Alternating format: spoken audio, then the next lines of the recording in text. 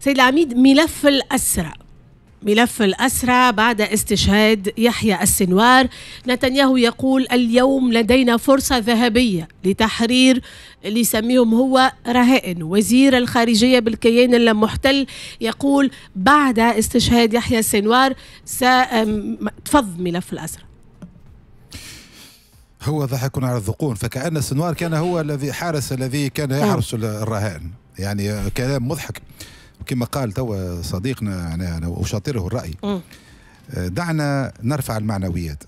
الذي استشهد وارتقى إلى الرفيق الأعلى هو أحد قادة محور المقاومة.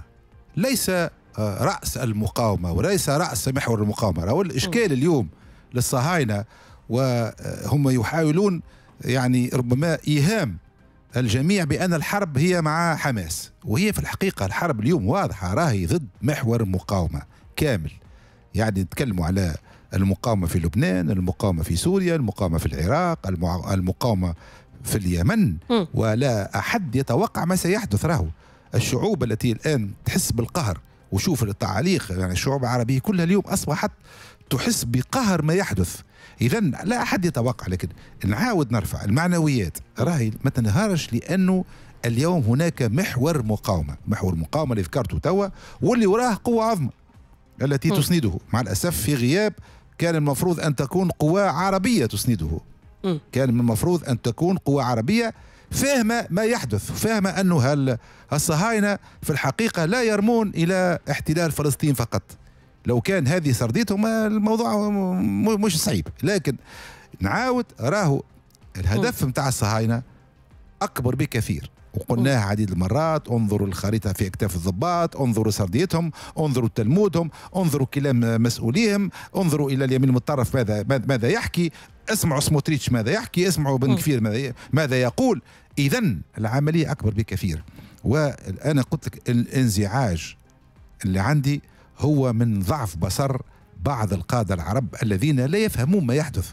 راهو هذا يتلاعب بنا يتلاعب بشعبه ويتلاعب بنا توا كلمات السلام. على على شكون؟ أنا هو المخبول المجنون الذي يستمع إلى كلام هذا. هل إسرائيل تريد السلام؟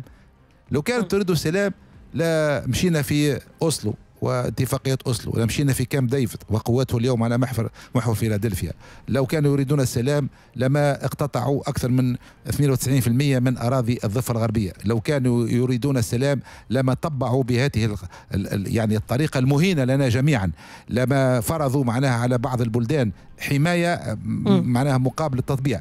إذا العملية أكبر بكثير. لكن أنا معنوياتي مرتفعة لسبب بسيط. اليوم هم لا يقاتلون الفلسطينيين الفلسطينيين وحدهم في معزل كما فعلوا في السابق.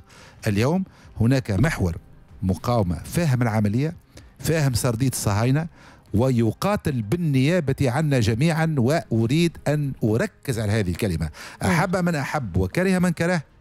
الاستراتيجي الحقيقي هو الذي يقرأ.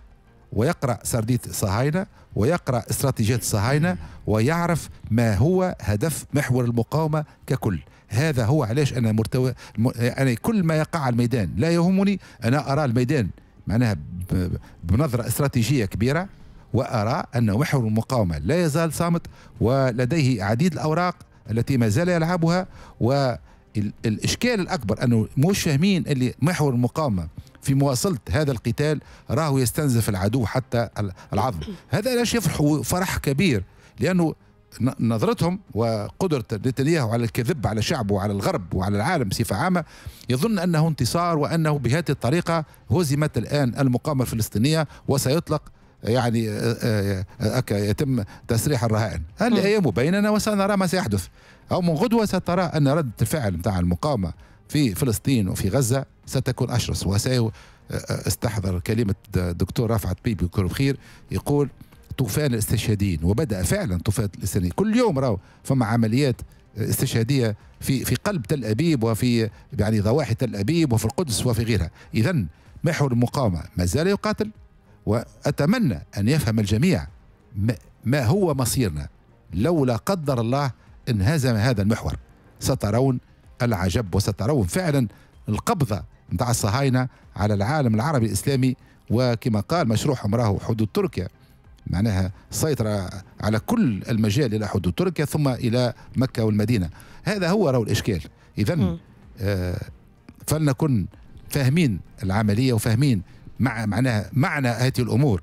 ولنصمد نصمد مع محور المقاومة لأني نعاود وآخر كلمة مش نقولها فإنه يقاتل عنا جميعا بالنيابة بالنيابة على يعني لأنهم نظرتهم ثاقبة يراوا ما يفعله الصهاينة. درسوا مثل الشهيد سنوار درسوا السردية الصهيونية هو حضر وعمل طوفان الأقصى لأنه قرأ جيدا الهدف الذي كان يرمي له الصهاينة وكادوا يحققونه إلى حدود يوم 6 أكتوبر الفارط.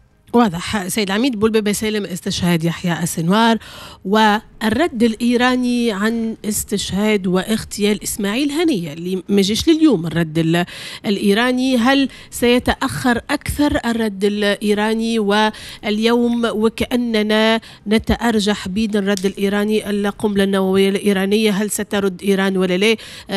تطفى شوية حكاية غزة. اليوم استشهاد يحيى السنوار. كل العيون ترجع لغزة تفضل شكرا آه، سماح.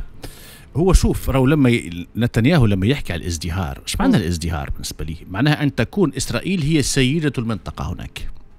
وأنتم وهي كنقولوا سيدة المنطقة معناها الكل يكونوا خدم لإسرائيل هناك. هذا إيش معنى الازدهار اللي يتحدث عليه هو؟